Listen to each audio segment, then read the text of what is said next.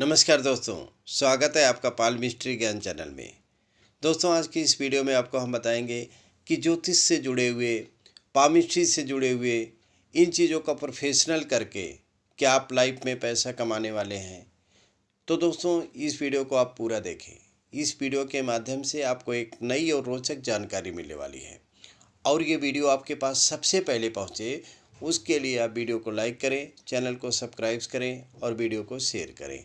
आइए अपने हाथ की तीन मुख्य रेखाओं को देखते हैं। सबसे पहले ये हमारी ये जीवन रेखा। जीवन रेखा हमारे जीवन के घटनाक्रम के बारे में बताती है। कि हमारी मस्तिष्क रेखा। हम किसी बात को कितनी गहराइयों तक सोचते हैं उसके बारे में बताती है। यह हमारी हृदय रेखा। हम किसी के साथ कितना अटैचमेंट है, हमारा प्यार कितना है, उसके बारे में बताती है। तो आइए सबसे पहले जब भी ज्योतिष की बात करेंगे, ज्ञान की बात करेंगे, गुरु का पर्वत देखेंगे। गुरु का पर्वत, गुरु का एक ऐसा ग्रह माना जाता है, विस्तार का ग्रह माना जाता है, ज्ञान का ग्रह माना जाता है। गुरुदेव की कृपा जिसके ऊपर होती है, उसको सारी ज्ञान की चीज़ें मिल जाती हैं। ज़िंदगी में वो सारी चीज़ें उनको एक अमृत के समान बरसता है ज्ञान। ऐसे लोग परमात्मा के जितने भक्त होते हैं, जितने वो अपने से बड़ों का रिस्पेक्ट करते हैं, आदर करते हैं, मान करते हैं, उनको गुरु की अपार कृपा मिलती है। सबसे पहले अगर ये गुरु की फिंगर सीधी हो और शनि की तरफ़ मुड़ती हो ऐसे लोग धार्मिक नेचर के होते हैं। ऐसे लोग का ज्ञान जो होता है, काफ़ी बेहतर होता है। लोगों की सेवा भावना करने वाले होते हैं। अब इसी गुरु के पर्वत पे एक गुरु बलय देखते हैं। ये गुरु का बलय बनता है। ऐसे लोगों को धार्मिकता में ज़्यादा रुचि होती है, ज्ञान होता है इनको। हर चीज़ें पढ़ते हैं और धार्मिक की तरफ़ एक डीपली नॉलेज करते हैं। और यहाँ पर एक फ़िश की साइन, यहाँ पर एक फ़िश की साइन, बहुत ही शुभ साइन मानी जाती है। यहाँ पर पैसे से कोई लेना देना नहीं है।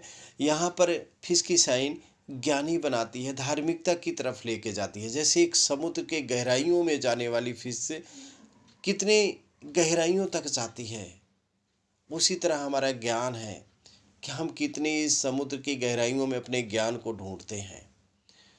जैसे कहते हैं ना कि समुद्र में मछली जल की रानी है, पानी में छोड़ोगे तो भाग जाएगी, बाहर निकालोगे तो मर जाएगी।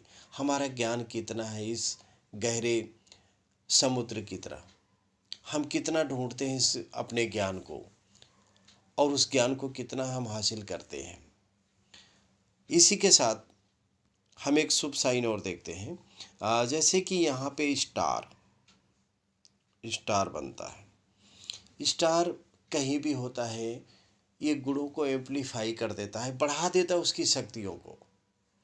और यहाँ पर अचानक से सफलता देता है नेम फेम दे देता है। और यहाँ पे एक साइन और है। ये साइनें अगर लाइनें तीन चार हों, ऐसे लोग ज्योतिष से जुड़े पामिस्ट्री से जुड़े हुए चीज़ों को अध्ययन करते हैं, ज्ञान करते रहते हैं, एक नई नई सोच पैदा करते हैं ज्ञान की तरफ़। अब इसी के साथ और साइन देखते हैं। जैसे कि ये शनि के पर्वत के ऊपर एक त्रिशूल। त्रिशूल यहाँ पे बहुत शुभ फल देता है। भगवान शिव के उस व्यक्ति के ऊपर अपार कृपा होती है। यहाँ पर ज्ञान देता है, धार्मिकता पैदा करता है। बड़ी गहन अध्ययन वाली चीज़ें ज्ञान मिल जाती है ऐसे लोगों को। और ये केतु का क्षेत्र है। केतु के क्षेत्र के ऊपर एक फ़िश की साइन यहाँ पे ज्ञान में मास्टर बना देता है। ज्योतिष से जुड़े हुए पामिस्ट्री से जुड़े हुए चीज़ों में एक बहुत बड़ा ज्ञान पैदा करती है। और ऐसे लोगों को अगर यहाँ पे स्टार भी बन जाए, एक यहाँ पे भी स्टार बन जाए, स्टार यहाँ पे बन जाए तो ऐसे लोगों को निपुणता दिला देता है। क्योंकि ज्ञान का कारक होता है केतु। ऐसे लोगों का ज्ञान इतना डीपली बनता है, इतनी धार्मिकता की तरफ़ जाते हैं, उनको मोक्ष की प्राप्ति होती है, ज्ञान भी नई नई चीज़ों का ज्ञान ढूंढ के लाते हैं। और इन चीज़ों के ज्ञान में मास्टर बन जाते हैं। इसी के साथ इन चीज़ों को सीख करके आपको फेम मिलने वाली है।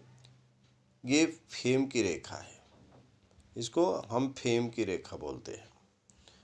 अगर यहाँ पे फेम की रेखा है, ऐसे प्रोफेशनल को करके जो भी प्रोफेशनल होगा, किसी भी व्यक्ति का, कहीं भी हो, उसको नेम फेम दिलाती है।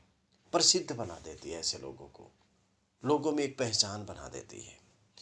और यहाँ पे एक शुभ साइन इसको हम बोलते हैं ज्ञान की रेखा। सूर्य की फिंगर बड़ी हो, सूर्य का पर्वत सामान्य हो, ऐसे लोगों का ज्ञान बहुत बड़ा होता है। ऐसे लोग दूसरों को समझाने का काम करते हैं, अपना तो ज्ञान करते करते हैं, अपने लोग भला तो करते हैं, लेकिन दूसरों को ज्ञान देने का काम करते हैं। जितनी बड़ी एक ज्ञान रेखा होगी, उतना बड़ा आपका नाम भी होगा, उतनी बड़ी आपकी पहचान होगी। अब इसी के साथ ये हमारी भाग रेखा भाग रेखा हमारे हस्तरेखा में बहुत बड़ा गेम खेलती है।